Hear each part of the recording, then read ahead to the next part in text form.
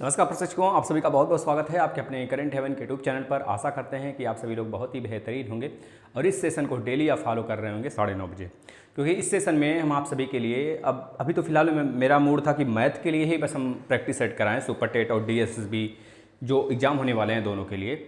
लेकिन अब मेरा थोड़ा सा यह दिमाग कर रहा है कि इसमें मैं एक सीरीज़ उठाऊँगा, जैसे मैंने एक सीरीज़ यहाँ से उठाया हुआ हूँ। है ना? तो कल मैंने जैसे पाँच क्वेश्चन कराया था, आज छः सात क्वेश्चन आठ क्वेश्चन ऐसे लेके चलूँगा अब मैं डेली तो इस सीरीज़ को पहले एक ख़त्म करूँ।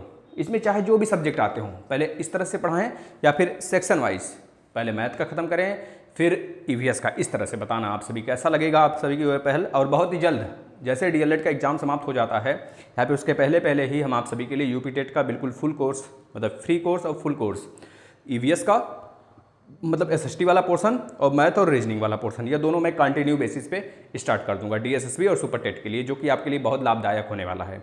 ठीक है ना? चलिए स्टार्ट कर लेते हैं देर न करते हुए, फटाफट आप लोग शेयर कर देंगे। देखिए, इस टाइम लाइट भी कट जाती है। है ना? सोच रहा था कभी से लाइट आ जाए लाइट आ जाए, फिर स्टार्ट करें, लेकिन चलिए, इस गर्मी में कुछ और ही आनंद। है ना? चलिए आ जाइए तीन संख्याओं का योग अंठानवे है। देखिए, बहुत ही आसान होता है, बहुत ही सिंपल होता है। मैथमेटिक्स आज आपको समझ में आ जाएगा। डेली बेसिस पर आप प्रैक्टिस करिए। इससे बाहर एक भी प्रश्न नहीं आने वाला है। आपका हु बहु चालीस क्वेश्चन, तीस क्वेश्चन मतलब तीस क्वेश्चन मैथ और रीजनिंग को मिला के आने वाला है, तैयार हो जाएगा आपका। डीएसएसबी में लगभग चालीस क्वेश्चन है और सुपर टेट में तीस क्वेश्चन है। ठीक है ना?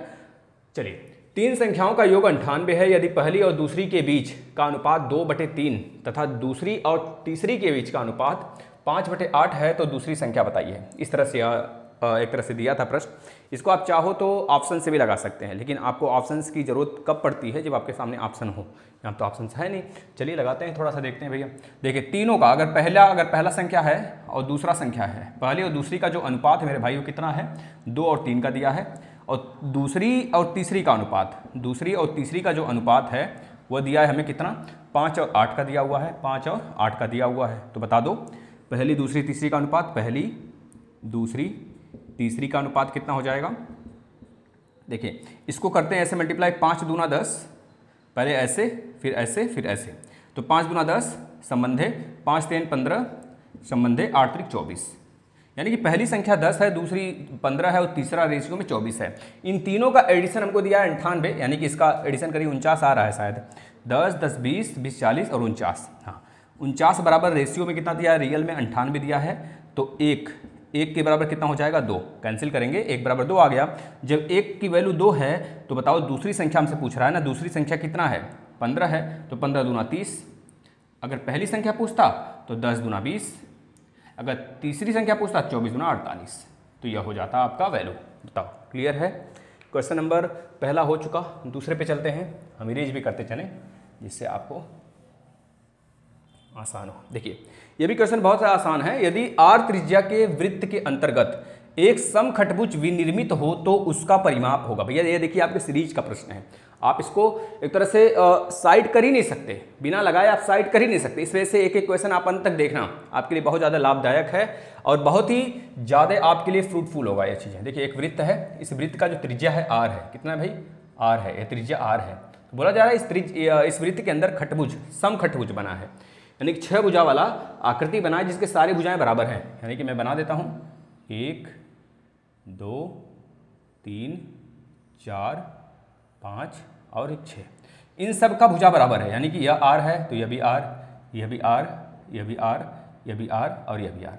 यानी कि जो भुजा है ना, सबके सब कितने हो जाएँगे? आर आर आर आर और आर हो जाएगा। जब आर आर आर होंगे तो बताओ परिमाप का मतलब होता है सभी भुजाओं का योग तो होता है ना?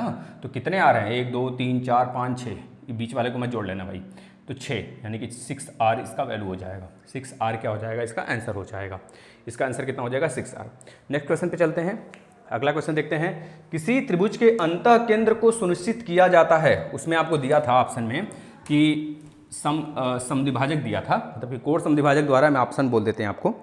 किसी कोण को, किसी त्रिभुज के अंत केंद्र को सुनिश्चित किया जाता है अभिलंबों से, कोणों के अर्धक, अर्धकों से, तीसरा ऑप्शन माध्यिकाओं से और चौथा ऑप्शन है भुजाओं के लंब अर्धकों से। तो याद रखना, किसी भी त्रिभुज के, किसी भी त्रिभुज की बात करता है अगर, कोई भी त्रिभुज हो और उसके हमको अंत केंद्र देखना है। जब अंत केंद्र देखना होता है तो उसका जो कोड होता है ना कोड जो होता है ना, उसी का हम क्या करते हैं?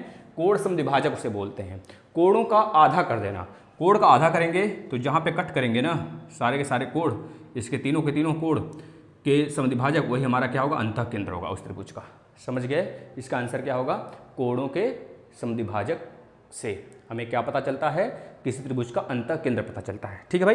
देखिए एक एक चीज़ मैं क्लियर करूँगा। यहाँ पे तो प्रश्न आप कर रहे हैं ना। अभी जब क्लास स्टार्ट करेंगे तो ज्यामिति बिल्कुल आपको घोल के पिलाने वाले हैं। बस आप सभी के जो एक तरह से वह है ना, प्यार है, आप सभी नहीं दे पाते हो, आप सभी कभी शेयर नहीं करते हो, हमें पता है। किसी त्रिभुज के अंत केंद्र का अच्छा ये तो हो गया ना।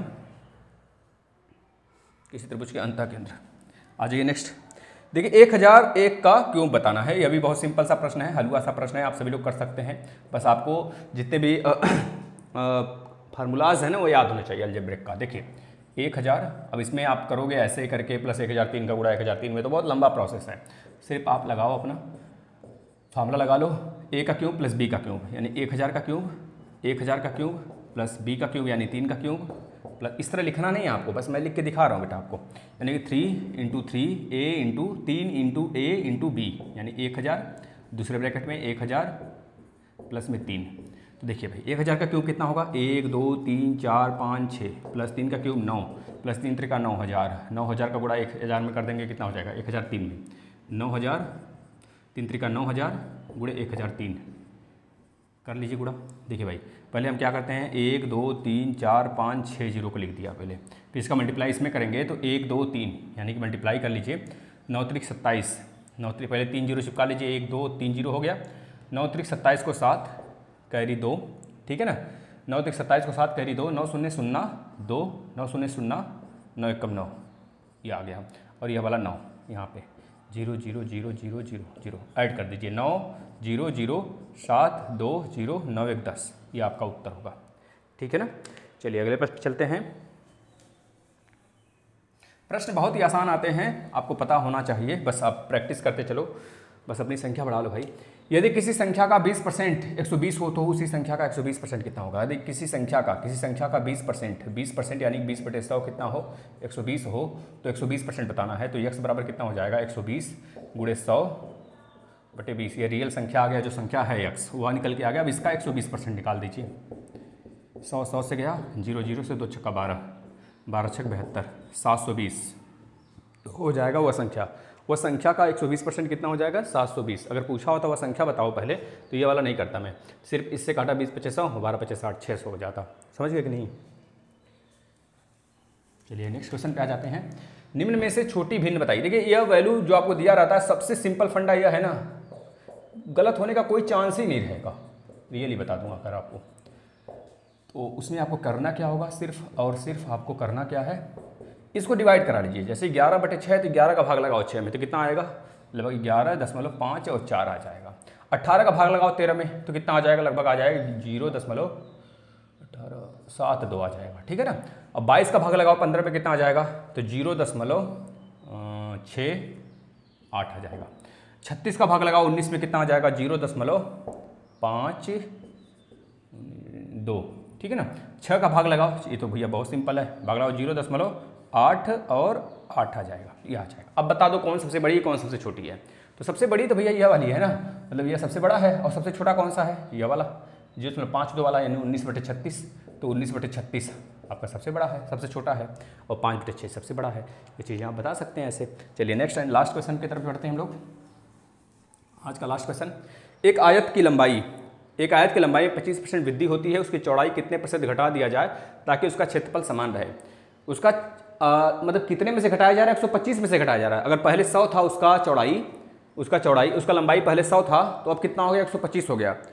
पहले 100 था अब हो गया 125 100 उसकी लंबाई भी थी 100 उसकी चौड़ाई भी थी। हमने मानते हैं ना हम लोग? कोई भी परसेंटेज अपने आप में हंड्रेड परसेंट होता है। तो भैया बता दो प्रतिशत से निकाल दो कितना कम करोगे? कमी कितने की आ जाएगी? 125 हो गया बाद में? 100 को हमने घटाया किसमें से? 125 में से। गुड़े सौ कर दीजिए। हो गया पच्चीस, सौ का सौ। पच्चीस पच्चीस एक सौ पच्चीस। एक सौ पच्चीस में से सौ जाएगा तो कितना आ गया? पच्चीस बटे पाँच पूरे चार। पाँच पचे पच्चीस, पाँच चौके बीस। यानी बीस परसेंट क्या करना पड़ेगा? हमें लॉस करना पड़ेगा। क्या करना पड़ेगा? लॉस करना पड़ेगा उसके क्षेत्रफल में। ये चीज़ें निकल के आया आपको सामने। ठीक है ना? ये चीज़ें रही आपके सामने। अब बताना कैसा लगा सेशन आप इसके लाइक शेयर करिए सब्सक्राइब करिए। बहुत जल्द आपके सामने फ्री कोर्सेज मैं लॉन्च करूँगा यूपीटेट सुपरटेट और डी का, जिसमें मैथ रीजनिंग और एसएसटी के लिए। आपके लिए बहुत ही बेसब्री से आप लोग इंतज़ार करिए। जब भी हो आ जाए, है ना? डी का क्लास चल रहा है या रेगुलर है क्लास इसको देखते रहिएगा। धन्यवाद।